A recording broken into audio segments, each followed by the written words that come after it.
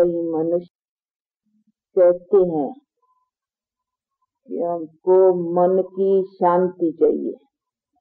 कामन आते नहीं? तो ये कामन कहते हैं कि मन की शांति चाहिए। अंग्रेज़ी में भी कहते हैं पीस ऑफ़ माइंड अभी ये भी चीज़ समझने की है कि कहते हैं पीस ऑफ़ माइंड तो अभी मन की शांति तो मन ने कोई हमको अशांत किया है? या अशांति का कारण कोई और है?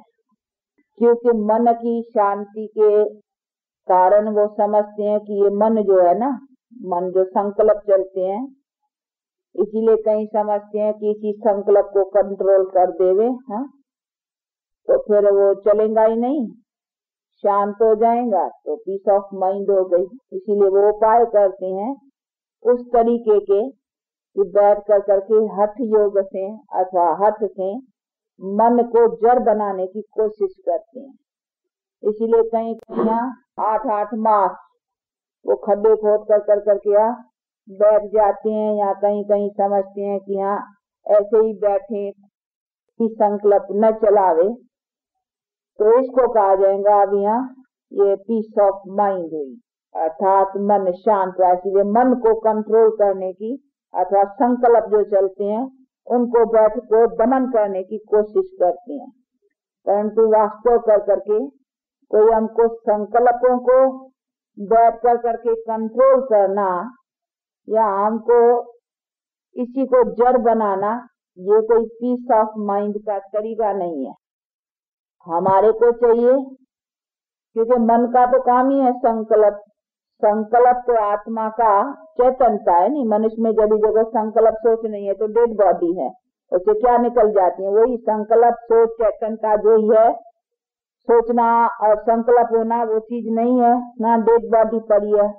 तो वो तो हमको कोई डेड तो नहीं बनना है ना, हा? कि हमारा कोई संकल्प न चले। कुछ सोच न चले, बस हम एकदम डेड हो जाए। जैसे रात को सो जाते हैं, एकदम कुछ भी न हो। तो हमारी कोई मन की शांति की स्टेज वो नहीं है। इसको नहीं कहेंगे हम जड़ हो जाए। जैसे रात को सो जाते हैं, कोई सोच नहीं, कोई संकल्प नहीं, या मनुष्य डेड पड़ा है तो कोई संकल्प नहीं, कोई सोच नहीं तो ऐसा डेड हो जाना, या कुछ रहे नहीं संकल्प का, तभी कहे कि ये पीस ऑफ़ माइंड है। इसलिए हट से कहीं बैठ कर करके ये तरीके अपनाते हैं। कोशिश करते हैं कि हम ऐसे हो जाए, तभी हमारा है कि मन शांत हुआ। परंतु तो ये नहीं है, मन शांत की अर्थ को भी समझना है और मन का मतलब ये नहीं है कि हम खाली संकल्पों को बैठ कर करके कंट्रोल करें। संकल्प के बिना तो काम ही नहीं चलेगा। हमको तो कर्म योगी है नहीं गीता के भगवान ने कहा कर्म योगी कर्म बिना संकल्प चलेगा ही नहीं। संकल्प न हो सोच न हो तो कर्म कैसे चलेगा? और उधर भगवान ने कहा कर्म योग और उधर भगवान के लिए भी हम कहते हैं कि भगवान को भी संकल्प हुआ कि मैं सृष्टि रचू। तो जब भगवान को भी संकल्प हुआ तो हम संकल्प को कैसे दमन करें, हा? भगवान को भी एक तरफ़ कहते संकल्प हुआ कि सृष्टि रचे। तो जो भगवान भी संकल्प में आया सृष्टि रचने के लिए तो हम सृष्टि में चलने वाले, हैं? वो फिर कैसे संकल्प को दमन करे? तो ये सारी चीज़ें समझने की है, नहीं तो हमारे को पीस ऑफ़ माइंड के लिए क्या चाहिए? पीस ऑफ़ माइंड है कौन सी चीज़?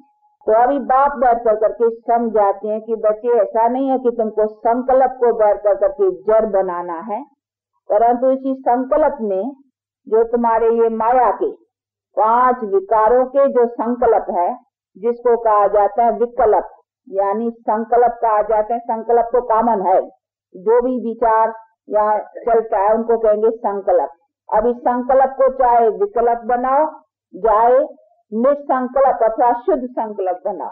बात एक ही है।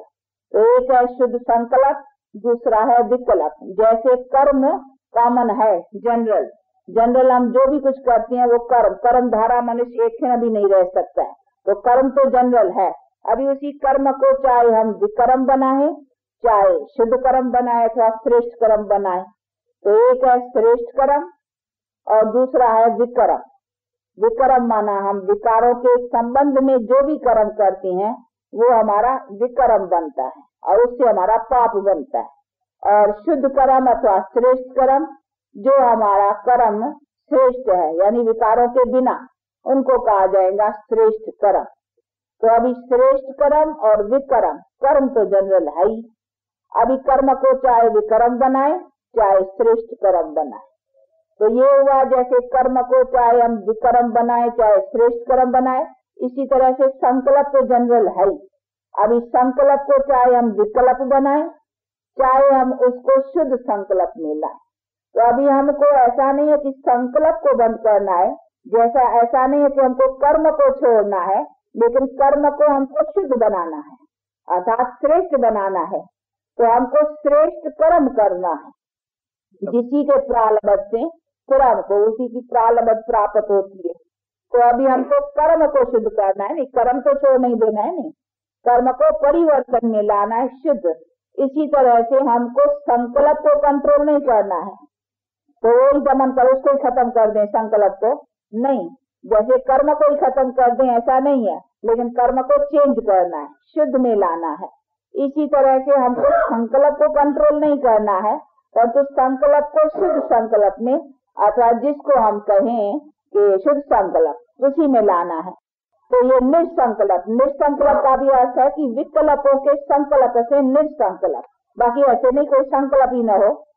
तो ये सारी चीज़ें समझने के, इसीलिए इसका हठ बैठ करके, हठ योग या कहीं बैठ करके तरीके अपनाना, कि हम अपने को, जड़ कोई संकल्प ही नहीं चले एकदम, उसी का बैठ करके प्रयत्न करने की कोई दरकार नहीं है।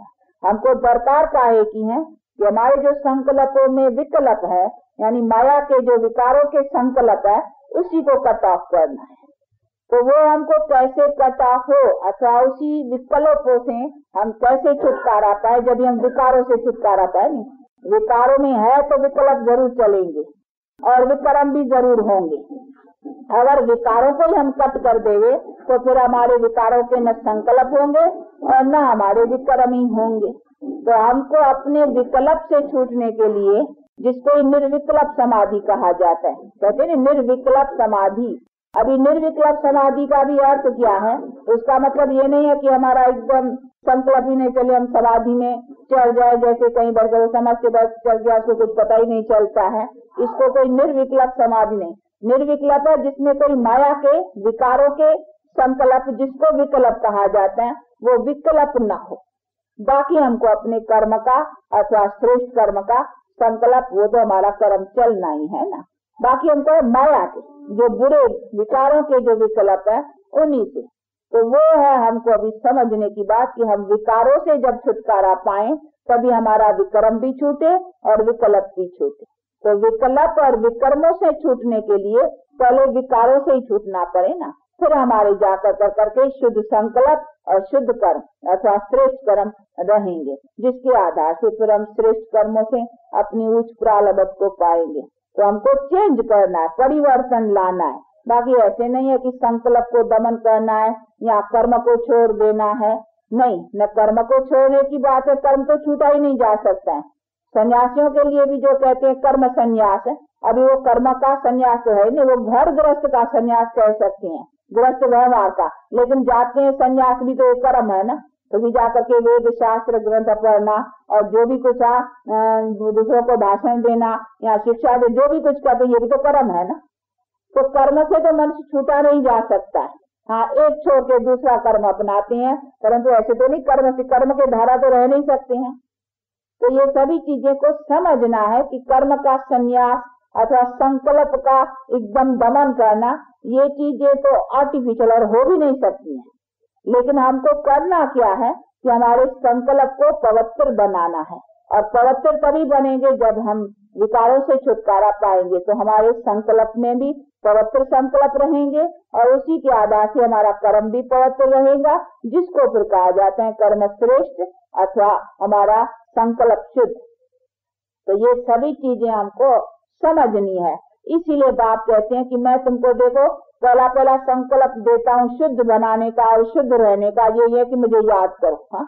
जब खाली होते हो तो मुझे याद करो, फालतू बुद्धि इधर उधर भागे दौड़े, उससे मैं काम दे देता हूँ, बस मुझे याद करो। तो ये तो बिज़ी है ना बुद्धि रखना कि बाप को याद करना I am soul son of supreme soul हर वक्त अपने को इसी में बुद्धि में रखना। हाँ बाकी काम का कोई बुद्धि देने की है तो अच्छा वो समय काम की बुद्धि दे। कोई काम है जो अपना शरीर निर्वाह के लिए, काम तो करना है, उसमें कहा ज़रूरी है तो चलो बुद्धि दे दियो। बाकी बुद्धि फालतू इधर उधर उधर है, बाल बसे तो झट से उसी काम में लग जाओ। I am soul son of उसमें बुद्धि लगा दो। तो देखो मन को काम मिल गया ना हाँ? तो वो काम उसी में बिज़ी तो उससे तुम्हारा फ़ायदा भी निकलेगा तुम्हारे शुद्ध कर्म भी रहेंगे और तुम्हारा शुद्ध संकल्प भी रहेगा। उसे तुमको पाप को दगत करने का बल भी मिलेगा। तुम्हारा काम भी होता रहेगा और तुम्हारी बुद्धि जो है या मन जो है उल्टे तरफ़ कहा नहीं जाएगा। उसी से तुम बच्चे भी रहेंगे। तो सेफ्टी हो गई ना। अभी इसको कहेंगे निर्संकल्प समाधि कहो या निर्विकल्प समाधि कहो, यानी इसी में स्थित रहना। बाकी ऐसे नहीं है कि संकल्प को बढ़ करके दमन करना या कोई संकल्प चले ही नहीं। उसको अपने को जड़ बनाना, जैसे डेड बॉडी पड़ी है, अपने को डेड बनाना। या हम जैसे रात को नींद में तो कुछ संकल्प सोच है ही नहीं। ऐसे अपने को बढ़ करके जड़ बनाने की कोशिश करनी है। नहीं, ये तो फिर हठ योग हो जाती है। ये हट है, इसी हट से परमात्मा ने भी कहा से मेरी कोई प्राप्ति का तहलिक नहीं है। मैं इन्हीं से नहीं प्राप्त होता हूँ, मैं तो प्राप्त होता हूँ, जो बढ़ कर करके मैं सिखाता हूँ। तो मन मना भव देखो कहा भी नहीं, गीता में मन मना भव मन को मेरे में लगा, ऐसे थोड़ी कहा, मन को जड़ बनाओ नहीं काय मन को मेरे में लगा कहा ना, मन मना भव माम एकम, मुझे याद करो। तो माम एकम मुझे एक को याद करो कहानी याद करो तो वो भी तो बुद्धि का संकल्प हुआ ना। परंतु ऐसा नहीं कहा कि संकल्प को जड़ करो डेड करो, या उनको एकदम एकदम जड़ हो जाओ। नहीं तो ये जो हठ योग और ये सभी जो बातें हैं, इसीलिए कई जो पीस ऑफ़ माइंड या मन की शांति इसी को समझते हैं कि ये मन का जो संकल्प है, उसी को दमन करना और फिर उसमें आ समाधिष्ट अवस्था में चढ़ जाना, जड़ हो जाए, कुछ पता न चले या उसको समझते हैं इसकी समाधि चढ़ गई, या इनका ये होगा, नहीं। वो तो ये ट्रांस में जाते हैं, उसी को भी हम नहीं कहते हैं कि ये कोई यहाँ निसंकल्प या निर्विकल्प समाधि तो ट्रांस ट्रांस एक अलग चीज़ है। वो तो दीदार होता है देखते हैं। चलो दीदार भी न हो कुछ देखे भी नहीं। ऐसे ही साइलेंस में भी कहीं चले जाती हैं। परंतु तो उसको भी कोई निसंकल्प या निर्विकल्प समाधि थोड़ी कहेंगे। वो तो हुआ वो है कि हाँ सही से पार हो गए। परंतु हमको तो उसी में रहना है नहीं कर्म करना है। और कर्म से हमको अपने कर्म से श्रेष्ठ बनना है उससे हमको अपनी प्रालबद्ध बनानी है। इसीलिए ये हम चिप करके ऐसा एकदम जड़ होकर के कितना समय बैठ जाएँगे हा? और हमको कर्म तो कैसे बैठ जाए बस वैसे बैठे बैठे सब कुछ हो जाएगा क्या? नहीं, और भगवान का हुक्म है, कर्म योगी रहो। कर्म करो तो कर्म करने के लिए संकल्प भी तो करना पड़ेगा ना। इसीलिए बात कहते हैं, बच्चे, ये संकल्प, सोच, कर्म तो अनादि चीज़ें हैं। इसी को जड़ बनाना, ये तो आर्टिफिशियल है चीज़। ये संकल्प भी अनादि है। संकल्प, सोच और ये कर्म। तो कर्म सृष्टि तो अनादि है इसको कहा जाते हैं कर्म क्षेत्र। तो ये कर्म की खेत भी अनादि है। ऐसे नहीं कहेंगे कभी ये कर्म की खेत थी नहीं। नहीं, ये बोना और पाना, बोना और पाना, ये सृष्टि अनादि है। तो कर्म है तो संकल्प भी है, सोच भी है, ये दोनों चीज़ें है ही साथ। कर्म बिना संकल्प सोच के हो ही नहीं सकता। तो कर्म क्षेत्र अनादि है तो संकल्प सोच भी अनादि है। इसी अनादि चीज़ों को बढ़ कर करके जड़ बनाना या डेढ़ करना, उनका बढ़ कर करके पुरुषारत करना, ये तो व्यर्थ पुरुषारत है। इसीलिए बात कहते ये हठ योग और ये सभी तरीके जो है, ये तो नेमों के बरखलाफ है।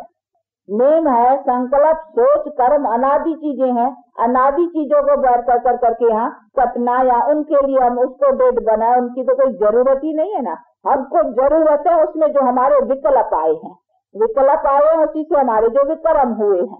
तो विक्रम और विकल्प आने के नतीजे में जो हम दुखी हुए हैं, उन्हीं के कारण ही दुखी हुए है ना। वो हमारे दुख के कारण बनाने वाली जो चीज़ें है, विक्रम और विकल्प वो कैसे छूटे? वो छूटेंगे तभी जब विकारी निकल जाएँगे। विकारी निकल जाएँगे तो न विकल्प होगा, न विक्रम होगा। तो हमारा क्या हो जाएगा?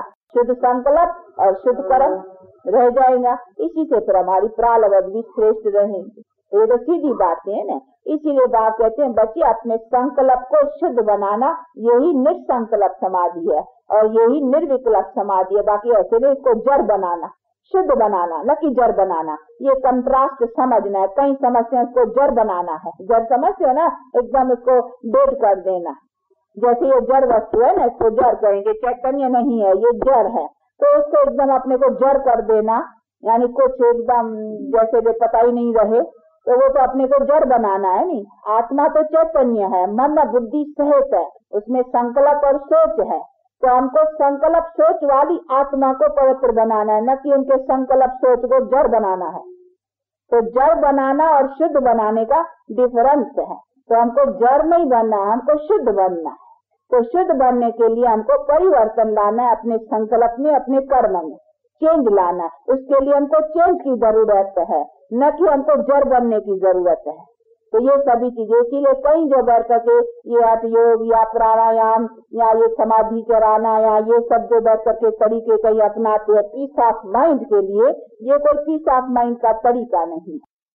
तो ये सभी चीज़ें भी समझने की है। कई इसी चीज़ों में समझते हैं कि ये अभी देखो, ये समाधि में चल गया, ये पीस ऑफ़ माइंड में गया। पर तो वो पीस ऑफ़ माइंड नहीं है। पीस ऑफ़ माइंड का भी अर्थ समझना है ना। तो वो तभी है जब हमारे को हाँ जिस अशांति हमको आती कहा से पीस और अंत में पीसफुल कहा जाता है, शांति और अशांति के दो शब्द है, नहीं? तो अशांति और शांति का कंट्रास्ट जो है, वो हमारे सारा कर्म से पहले है। तो ये सभी चीज़ों को समझ रहे हैं, हमको शांति भी तब मिलेगी जब हमारे कर्म श्रेष्ठ है और उसके अनुसार हमको जो प्रालब्ध प्राप्त होती है, उसी में हम सुखी रहते तो शांत है। नहीं तो फिर अशांति है, दुख के कारण। बाकी ऐसे नहीं है कि मन चलता है, उसी से अशांत है। मन हमारे विकल्पों में चलता है, विकल्प और विक्रम हमको दुखी करते हैं। तो हमको छुटकारा होना है उसी विकारों से, जो हमारे विकल्प और विक्रम बनाती है।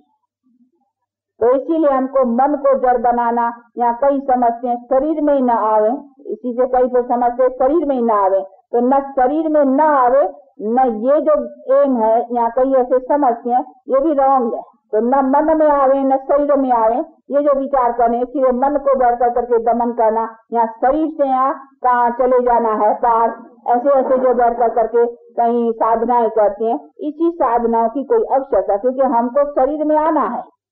आत्मा मन बुद्धि सहता हमको शरीर में आना ही है। तो आना है, उसमें हमको किस तरह से चलना है, किस तरह से रहना है, और किस तरह से हमको अपने कर्मों को श्रेष्ठ रखना उसी चीज़ को समझना है। तो उसी के लिए बात कहते मैं आकर करके वो नॉलेज समझाता हूँ। तो तुम कौन सी चीज़ हो? और तुम्हारे को शरीर में किस तरह से रहना चाहिए? और तुम्हारी पवित्र स्टेज क्या है? वो चीज़ें मैं जानता हूँ। इसीलिए मैं आकर करके तुमको वो चीज़ समझाता हूँ, जिसी के समझने से तुम फिर सदा सुखी रह सको। तो ये सभी बातें यथार्थ समझने की हैं। बाकी इसके लिए बैठ करके जिसके मन में जो आया, किसी ने समझा, ये मन ही न हो ना? हाँ? ये जो संकल्प करता है, ये जो कहता है, ये हो, वो इसीलिए कई समझते हम इच्छाएँ को दमन करें। हाँ ये इच्छा, ये कई फिर समझते हैं इच्छा ही जो है, वो हमको अशांत करे हम इच्छा ही न करे हाँ यहाँ तो समझे जो प्राप्त है, वो ही सब ठीक है हाँ। फिर चाहे हमको रोग आए ना तो भी हम समझे, ये भी भगवान ने दिया है हाँ? ये भी ईश्वर का दिया हुआ, ये भी सब कुछ हुआ, ईश्वर का भाड़ा मीठा करके भोगो, ऐसा ऐसा बैठ कर कर करके हाँ देते हैं तो जो मिला तो हाँ ठीक है, ऐसी ऐसी रख कर करके उसको। वो तो हुआ टेम्पररी अपने दिल को तसलिया देने के लिए कि हाँ भाई, जो दिया ईश्वर ने दिया, अपने को क्या करे? आया है दुख तो उसको किसी तरह से तो अपने मन को हाँ शांत रखने के लिए वो तो है।